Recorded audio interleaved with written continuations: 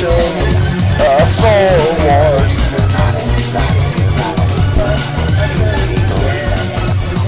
Enemy falls. That's the end. Victory.